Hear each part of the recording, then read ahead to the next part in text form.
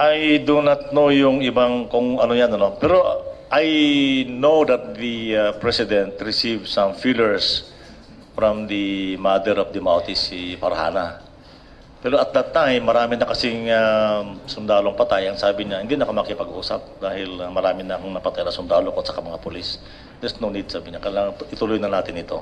Yun ang alam ko, ha. Now, I don't know if other feelers were made along the way. Hindi ko na alam yon. Pero alam ko niyan, even before itong gulo na ito sa Marawi, nung sa butig pa lang, nagkita na sila ni Solitario. Nagkita sila nito, nag-usap sila. And uh, I don't know anong pinag-usapan nila, but uh, I know that uh, they met.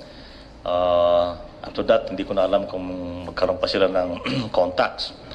But yun lang alam ko na gusto makipag-usap nung mother ng mga Maotis, but uh, he declined because uh, by then, medyo marami na tayong casualties.